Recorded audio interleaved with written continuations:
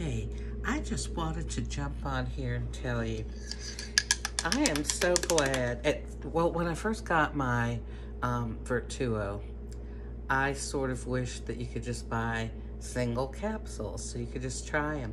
So glad we have to get an entire sleeve when we want to try something.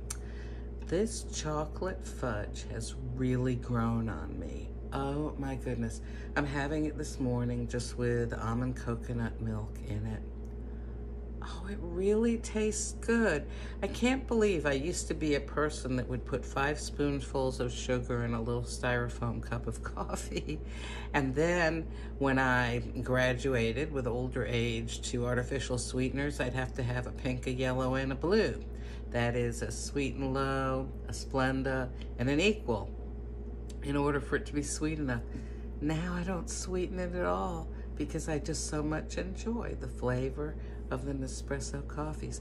But sometimes it may take an entire sleeve before I finally get it and appreciate it. Oh, that's so good.